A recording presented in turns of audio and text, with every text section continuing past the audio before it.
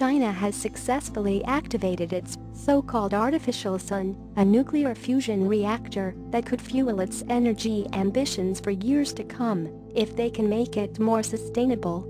China's Atomic Energy Authority fired up its HL-2M tokamak reactor for the first time on Friday, state-controlled media report.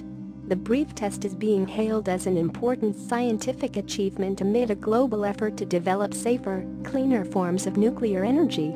The development of nuclear fusion energy is not only a way to solve China's strategic energy needs, but also has great significance for the future sustainable development of China's energy and national economy, the state-run People's Daily said.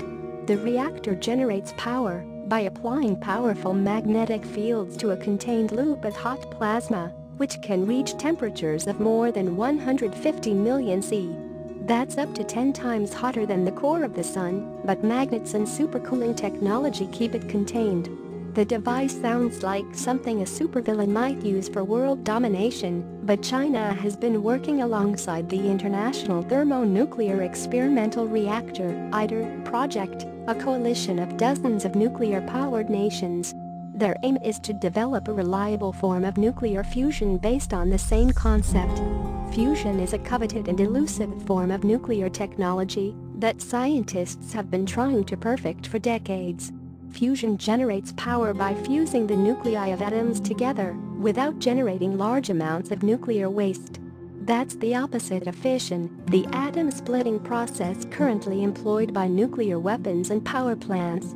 Fission is easier, but it generates nuclear waste, whereas fusion is hard to achieve but cleaner to maintain. Fusion is still considered prohibitively expensive, but China's test should help researchers in their search for ways to bring those costs down.